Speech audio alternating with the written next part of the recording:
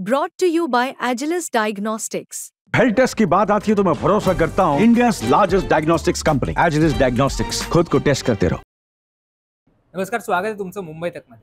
खरं तर मनोज जरांगे पाटील काय करणार याकडे सगळ्या महाराष्ट्राचं लक्ष लागलं होतं. मनोज जरांगे पाटील यांनी उमेदवार जाहीर करणार असल्याचं सांगितलं होतं. काल त्यांची दिवसभर बैठक झाली रात्रीपर्यंत त्यांची बैठक झाली. रात्री उशिरा त्यांनी पत्रकार परिषद सुद्धा घेतली आणि त्याच्यामध्ये त्यांनी काही मतदारसंघ सांगितले की जिथे ते उमेदवार देणार आहेत काही मतदारसंघ सांगितले जिथे ते उमेदवार पाडणार होते हे सगळं सुरू होतं. आणि आजची जी सकाळ होती ती खूप महत्वाची होती कारण सगळ्यांचं लक्ष लागलं होतं की मनोज जरांगे पाटील नेमकं काय करणार आहेत आणि त्यांच्या भूमिकेमुळे महाराष्ट्राच्या राजकारणात अनेक बदल घडणार होते. या सगळ्याकडे लक्ष होतं. सकाळी मनोज जरांगे पाटलांनी पत्रकार परिषद घेतली आणि त्यांनी सगळ्यांवर बॉम्ब टाकला. अर्थात त्यांनी असं सांगितलं की ते आता ही विधानसभेची निवडणूक लढवणार नाहीये ते कुठलाही उमेदवार उभा करणार नाहीये किंवा कोणालाही पाठिंबा देणार नाही. त्यांनी आवाहन केलं की तुम्हाला जो योग्य उमेदवार वाटतो त्याला तुम्ही पाठिंबा द्या. त्याच्याकडनं बॉन्ड लिहून घ्या की तो निवडून आल्यानंतर मराठा समाजासाठी काम करेल त्याच्या संदर्भात तो मागणी करेल. हे सगळं झालं आणि मनोज जरांगे पाटलांनी या सगळ्या निवडणुकीच्या प्रक्रियेमधनं सपशेल माघार घेतली आणि त्यांनी जे उमेदवारांनी फॉर्म दाखल केले होते त्यांना सुद्धा सांगितलं की तुम्ही तीन वाजायच्या आत तुमचे तुमचे फॉर्म हे विड्रॉ सुद्धा करा. आता हे सगळं घडल्यानंतर सगळ्यांच्या मनात एक प्रश्न निर्माण होतोय की नेमकी मनोज जरांगे पाटलांनी ही भूमिका का बदलली?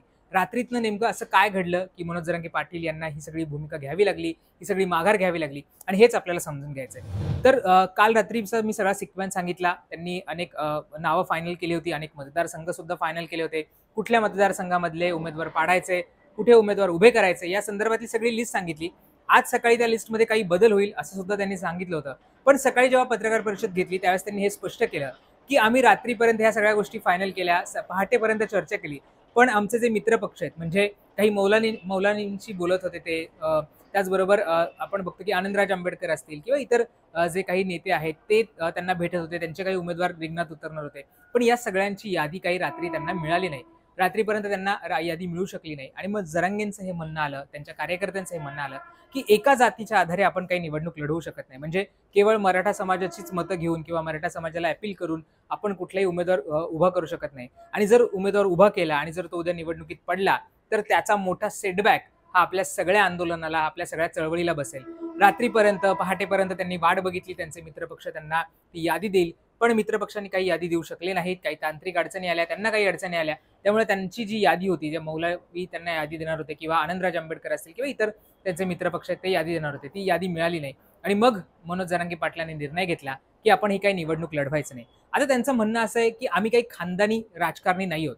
आम्हाला आमच्या हक्कासाठी आमच्या आरक्षणासाठी ही लढाई लढायची होती आणि त्याच्यासाठी आम्ही या सगळ्या निवडणुकीच्या रिंगणात उतरणार होतो. परंतु एकट्याने किंवा एकट्या मराठा समाजाच्या जीवावर किंवा मराठ्यांच्या मतावर किंवा एका जातीच्या आधारावर ही काही निवडणूक जिंकता येणार नाहीये. जे फॅक्टर्स ते जुळवू पाहत होते दलित मराठा आणि मुस्लिम तो फॅक्टर आहे तसाच आहे. परंतु ती उमेदवारांची यादी येऊ शकल्या नमुळे मित्रपक्षांची यादी न आल्यामुळे आम्ही काही निवडणूक लढवत नाहीये आणि आम्ही याच्यातनं माघार घेतो त्यामुळे रात्रभर मनोज जरांगे पाटलांची सगळी चर्चा सुरू होती पहाटेपर्यंत सुरू होती. परंतु या सगळ्या कारणांमुळे अखेर त्यांनी निवडणुकीतनं आता माघार घ्यायचा निर्णय घेतलेला आहे. अर्थात त्यांनी हे आव्हान सुद्धा केलेलं आहे की तुम्हाला जो वाटतो त्या उमेदवाराला तुम्ही पाठिंबा द्या ज्याला वाटतं त्याला तुम्ही पाडा.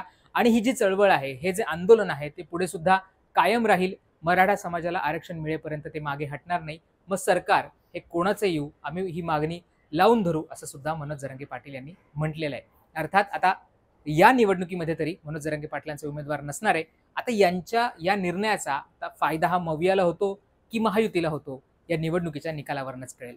तुम्हाला मनोज जरांगे पाटलांच्या भूमिकेविषयी काय वाटतं? त्यांनी आज जी जो निर्णय घेतला त्याच्याबद्दल काय वाटतं? हे आम्हाला कमेंट करून सांगायला विसरू नका. आणि अजूनही तुम्ही मुंबई तकला सबस्क्राईब केलं नसेल तर ते सुद्धा करा. धन्यवाद.